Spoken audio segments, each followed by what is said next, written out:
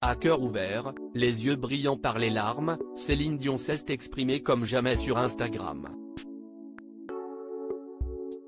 La chanteuse de 54 ans a diffusé un message bouleversant aux internautes, s'expliquant sans phare sur son état de santé qu'on savait inquiétant.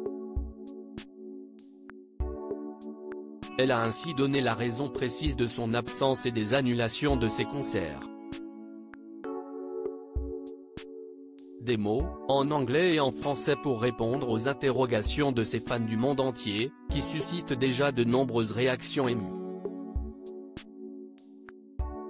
Les cheveux tirés, le visage grave et la voix posée, Céline a pris la parole pour expliquer en détail son absence.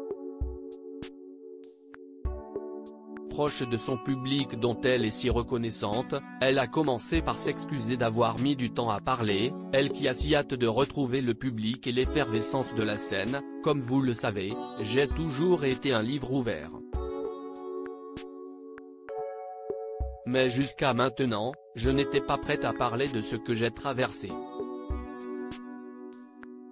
Un suspense auquel l'artiste canadienne met rapidement un terme, j'éprouve des problèmes de santé depuis très longtemps et ce n'est pas facile pour moi d'y faire face. Récemment j'ai été diagnostiqué avec un trouble neurologique très rare dit en anglais Steve Person Syndrome, qui atteint environ une personne sur un million.